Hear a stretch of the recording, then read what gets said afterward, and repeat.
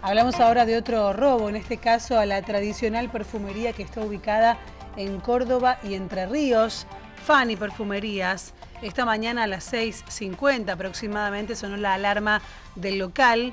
Según trascendió, un hombre golpeó la vidriera con su mano y quebró el vidrio lateral de este negocio.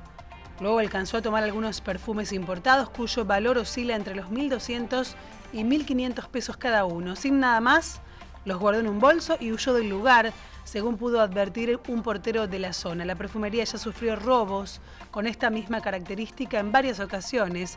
Por este motivo cuentan con vidrios antivandálicos para evitar la destrucción total de cada panel.